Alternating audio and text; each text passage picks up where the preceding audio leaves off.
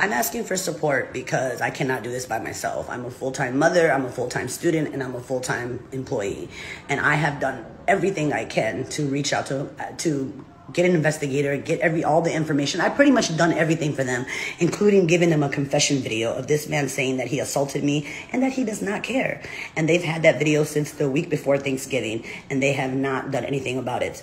They have not moved forward in the case, and they won't respond to me. I have left over 20 voicemails, over 20 emails, and guess what? They respond to people who have nothing to do with this case. She told the detective that responded that she was hit in the head with a brick after she refused to give her phone number to a guy on the street. And was that verified by any of the evidence that detectives looked at?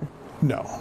That was not verified. Harris County prosecutor Keith Houston says surveillance videos from that early September morning show Osmond hitting a man first. So she's the one who, the, she was the aggressor? She was the aggressor, yes. And it was a water bottle that hit her, not a brick? He did have a water bottle in his hand, and we think that's what left the mark. According to court documents, she asked someone else to launch this GoFundMe for her recovery, raising more than $42,000.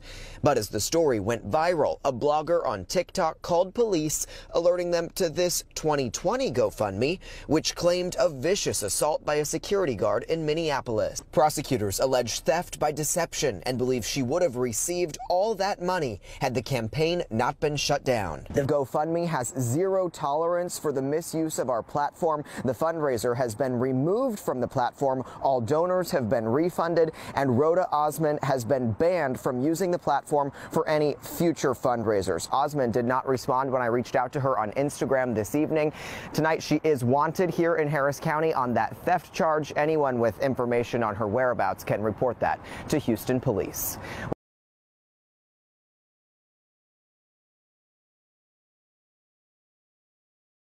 And this is what I'll do for you. Okay. When charged, you know, the report is, you know, still confidential information. Right. Yes. But but charges are public information. Correct, sir. So when char- if char- when or if charges are filed, I will call you and let you know so you can look look them up on the Harris County database. Okay. That a good deal? That's a good deal. I, I, I have it written down, but give me your phone number again. Yes, sir. Two two nine five. Okay. I'm gonna. Okay. Thank you.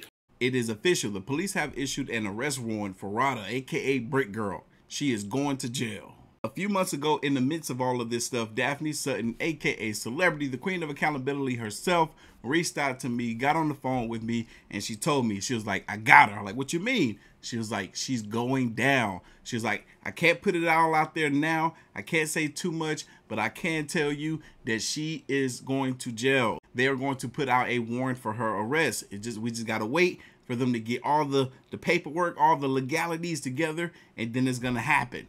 So I don't know if they arrest her as of yet, but there is a warrant out for her arrest in Texas. I'm sorry, what was your name again? Daphne Sutton.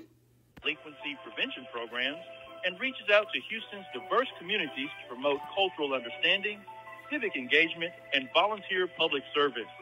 Learn more at www.houstontx.gov. Okay, I was I was helping out with the case. Um, it was a assault case of a black woman two months ago. I provided them with over maybe 20 emails of evidence because the person that's claiming she was assaulted is now harassing me and is now making threats to me. Um, I also have a fraud case against this person, and I already filed the police report in my jurisdiction. And Sergeant McCoy is aware of that police number. I'm happy to speak to my supervisor, like I said, as soon as I put you on hold. Okay. But I, I'm I'm aware of that case, and, and they have already uh, concluded that case. They had uh, ample evidence that they don't need additional evidence. It's already they had extreme evidence uh, that she was being untruthful uh, and, and they uh, more than sufficient evidence to, to prove that already, and that the case has already been concluded. Gotcha. Celebrid got up here says, "Here is what really happened. Her friend admitted Rhoda was not hit with a brick." And then as you can see down here, the stuff is outlined of what could have potentially happened that day. Y'all can pause it right now if y'all want to read this. I'm going to move on to the next slide. It says, state requests the defendant, rather a foreign national or not, be ordered to surrender any and all passports, visas, or other travel documents and be, and be prohibited from obtaining or applying for any new supplemental passport, visa, or travel documents. She must sur surrender all passports. And then you see Daphne got right here. No more Jamaican trips for Rhoda. She must surrender all passports. This woman isn't allowed to leave the country or go anywhere but jail. That's the only place she can go. I wonder if they found her yet. And people was coming after Daphne, proclaiming Daphne never did file a report. If Daphne says she did something, guess what? That's exactly what she did. Here goes right here, outlining exactly what time and day that she filed this report on. This was back in September when all this stuff happened with Rhoda. In September 15 when Daphne filed this report. You go over to Rhoda's Instagram account now. She has it set to private, but it says Rhoda Osman, unprotected and targeted black woman assaulted by whoever this guy is, the, the, the, the guy she proclaimed assaulted her, and demonized for speaking out, a cash cow for bigots to profit off my pain the audacity for this woman to say that when she was the one that was profiting off of other people's sincerity. She made people believe, women specifically, she made people believe that she was the target of a senseless crime, one that did not happen, one that she created. If what she's saying is indeed true, she would have got every penny of that GoFundMe, and she would not have an arrest warrant out on her name right now. So the fact that she still want to pump out lies, is the reason why she's going to jail in the first place. Trying to make black men look bad when a black man didn't do nothing to her. But to some degree, I'm glad that this happened.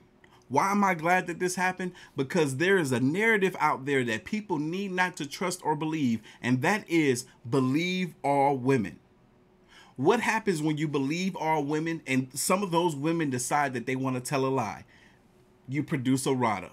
If it wasn't for the queen of accountability herself, Rhoda would have been out there free to do what she did multiple times again because y'all heard in that video. This wasn't the first time that she did it. Heck, it wasn't the second time that she did it. It was probably around the third or fourth as far as what she put out there publicly because ain't no telling how many times she's done something like this to profit off of in any degree. And the queen of accountability did exactly what the title of her name is hold this woman accountable. And look, we gotta give her one of these.